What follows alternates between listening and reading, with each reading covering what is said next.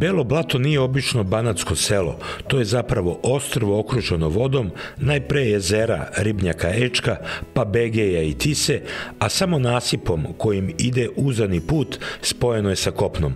U centru sela je škola koja se diči činjenicom da se nastava odvija na pet jezika naroda koji žive u Belom blatu. U školskom dvorištu se nalazi etno kuća koja ima svoju priču. Belo blato je tipično selo bilo koje se bavilo poslovima pre svega ribarstva i trskarstva. No, međutim, u posljednjih deseta godina došlo je do narušavanja pa samim tim i radna mesta su ugašena, uglavnom u najvećem broju slučajeva i ovo je alternativa.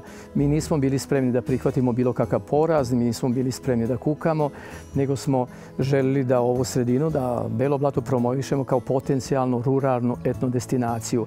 Gradnjom ove etno kuće, odnosno vremenske mašine, kako je mi definišemo, mi smo napravili prvi korak.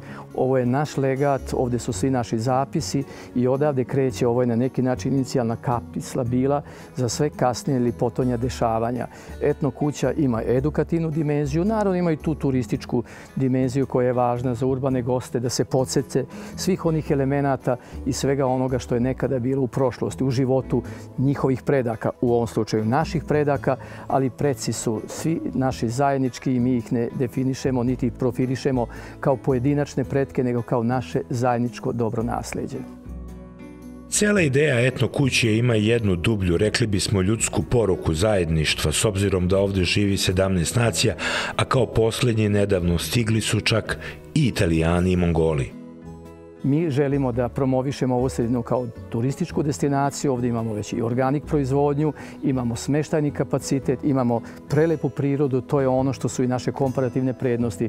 Mi smo jedino selo oslonjeno Carsku baru kao lepoticu, panonsku lepoticu, ramsarski biser. Imamo plemenite ljude i smatramo da je to nešto što je neophodno i nešto što mora na neki način da uspe. Mi se ne mirimo činjenicom da mi moramo svi da izađemo negde van, u Evropsku uniju da bismo radili.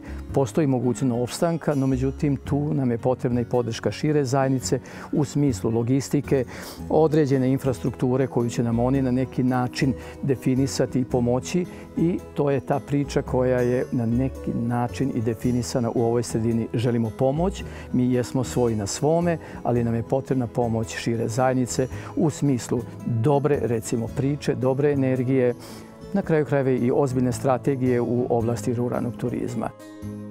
Etno kuća sadrži sve ono što je bitno za život, pokazuje kako su ljudi živeli, čime su se služili u pripremi jela i na koji način se sve to odvijalo, gde su čuvali hranu, šta su im bili prioriteti, kako mesto imao svako u jednoj porodičnoj zajednici. U dvorištu se nalazi letnja učionica, mesto gde deca na vazduhu u hladovini mogu da uče i da se druže, a sve u cilju novih saznanja. Mi tu učionicu koristimo za razne aktivnosti, posebno za sekcijske aktivnosti, ali interesantno je izaći, doći, biti na izvanrednom mestu, provetrenost. S one strane su crkve, znači spoj duhovnosti i svetovnosti i sve to harmonizovano. Imamo neobično dvorište koje je vrlo bezbedno. U neposrednoj okolini nalazi se Goklerova kuća, to je muzej ovoga sela. Preko puta iza crkava se nalazi Međunarodni istraživački biološki centar.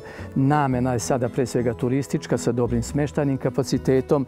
Imamo dole Salaš Luizu, imamo nekoliko pansiona, imamo porodice koje se bave organskom proizvodnjom. Ponavljam, dobre ljude, plemenite ljude koji su spremni da rade, ali je to potrebno umrežiti, uvezati u jedan dobar sistem koji će na kraju krajeva rezultirati i sa određenim materijalnim dobitima, jer bez toga, naravno, bilo bi besmisleno i sve ovo raditi. Kažemo besmisleno u smislu opstanka. Etno kuća je u neku ruku bila zamajac etnoturizma koji se pokrenuo pa sada meštani viškove onoga što proizvedu ponude turistima koji dolaze u većem broju poslednjih godina, a za to su zaslužne i neke od manifestacija koje organizuje selo i turistička organizacija. Naravno, cilj je zarada i realna mogućnost opstanka ovdašnjih porodica.